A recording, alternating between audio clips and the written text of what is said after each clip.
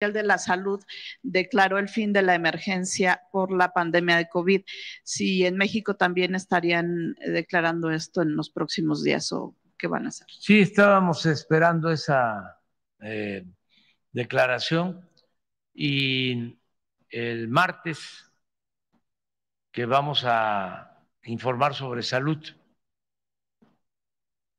se va este, a emitir un comunicado al respecto, el martes. Ese día ya se declararía el fin sí, de la pandemia. no, no. Eh, Ese día vamos a, a que los médicos ya, eh, expongan. Antes nos vamos a reunir. El lunes tenemos reunión a las seis de la tarde con el- los integrantes del sector salud y ya van a tomar una decisión y van a informar el martes sobre este asunto. Vámonos a desayunar ya, ¿no?